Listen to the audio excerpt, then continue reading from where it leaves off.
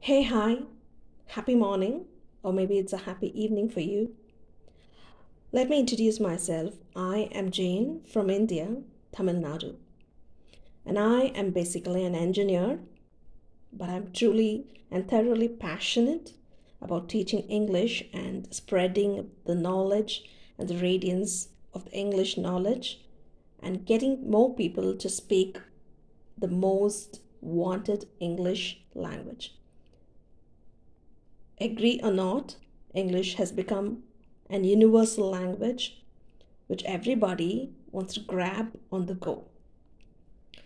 I feel good when I basically help someone to change their lives. When I bring a change in their lives, I truly feel blissful. So I'm here to bring at least a small, a little change in your life or in your way of speaking the English language. So um, today here I'm there to tell you how you could just pick up a challenge for yourself.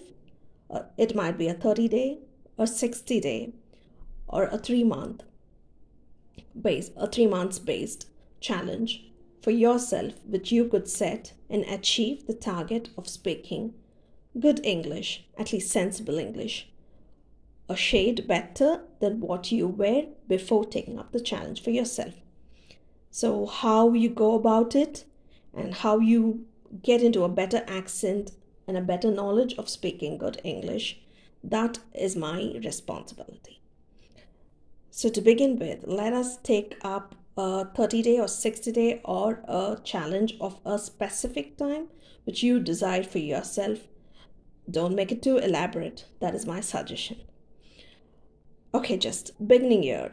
I'm starting up with the true words of Dr. APJ Abdul Kalam, the People's President of India, who has he has been a person who has been risen from such a humble background without not much of good English and scope, but yet how he reached the heights of a Himalayan mountain because of his hard work and efforts. So, beginning with his five lines to speak in the morning in front of the mirror, maybe. First thing is, I am the best. I am the best. The second line is, I can do it. The third one, God is always with me. Fourth one, I am a winner.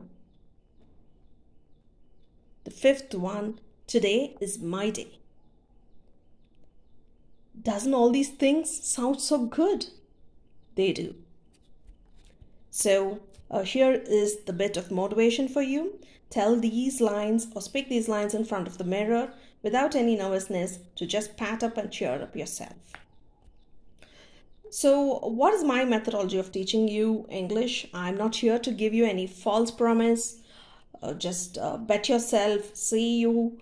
You could just make it on the go without any effort. I'm not here to tell you that. Well, just like how you see the vendors, the shopkeepers, or any roadside wala, tea vendor, anybody who speaks good English or any other language, you must be perplexed. You would have been perplexed did all of them have excellent language learning skills? That was not the case. The more they got used to hear and the more they spoke, that made them very fluent with the language. I guess you got my tip. Okay, just start with the first tip and and just uh, gear up yourself to do these two steps for today as an initial step in your challenge. So, okay, tip number one start listening to more of English. It might be conversations, it might be TV shows, it might be YouTube videos, or anything what you wish. Say, for example, I just tell you if you love cooking, or you love painting, or you love making up your room, or you love gardening, watch any video or any sort of um, uh, um, TV shows regarding to that and just keep listening that for repeated times, maybe two or three times. Just go about it, okay? Listen to that and get it again and again so that you will get used to the words related to your taste, your hobby time, and your passion, and you will like speaking that or telling about what you um, learned towards that to your friend or to yourself. You can just pat yourself and say you learned these words. Okay, that is the way you go about it. Tip number one listen to more of English videos, conversations, YouTube videos, maybe anything of that sort. The second tip is you have to lessen the amount of time you spend, the amount of mm, passion and time you spend to learn or listen your mother tongue. It might be Spanish, it might be Tamil, it might be even um, French, Chinese, anything for that sort. You might be any language speaker cut down on the amount of time you are spending to listen that. You for example you might be watching a serial or a series for a half an hour or 2 hours or 3 hours or spending time on a movie for 3 hours a day. Please cut down on that. And slowly you can just stop listening to those kind of videos in your native tongue because that gets you more attached to your native tongue. Always the more you listen the more tendency you have to speak that. So in that way, you can cut down how many hours you have you are just spending towards listening or watching your native tongue shows. That drives you no way away from the passion and the love you have for your mother tongue it is always going to be with you that is not a fear at all you don't need to have the fear that you might stop loving your native tongue it cannot happen actually. For the time being to pick up the challenge just try this kind of tip. Okay my second tip is you have to lessen the amount of time you spend on watching your um, videos or shows or anything related to your native tongue. Maybe your movie list maybe you can cut down on that. Instead, you can start listening or watching a movie on a good English masterpiece or a documentary like that. You can just watch something like that or anything, as I said, as a hobby, a passion, what do you have regarding that, you can just listen. And along with that, what you can do is every day, this is the task for you, I'm giving for you today. Every day, you could just write 5 to 10 sentences simple sentences at least carrying five to six words more than that that would be very fine. Write a few sentences and that and just send it to me through the email address i provide here or even you can leave it in the comment box. And just make it a habit to write 5 to 10 sentences and start speaking that. Make use of those simple sentences. Write sentences in a way that they will be useful for your day-to-day life too. Or maybe if you're searching for a job, try to write sentences related to that and start speaking that.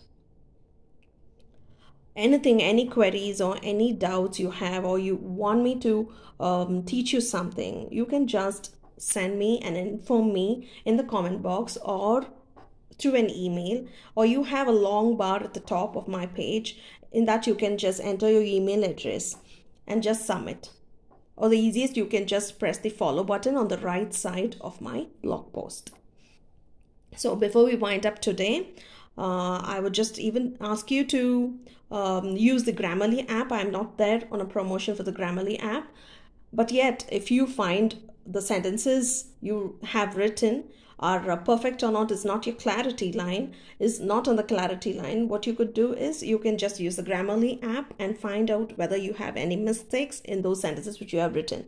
Or the easiest you can just email me what you have written and i'll just uh, check you and tell whether these sentences were right or not and they are fit for you to talk about. So before we wind up we will just uh, see what will be a procedure for the next coming up days what will be the procedure in which we will we will be carrying the challenge okay? The first step would be i will be giving you two tips every day to just improve on your english speaking. The second one i will add a clipping a recorded clipping in my blog. And the third one, I will give you a task to do every day, like what I gave you to write five sentences, uh, which you use regularly, and just speak in front of the mirror. And the fourth one is you have to email me or uh, leave in the comment box what you want me to teach every day.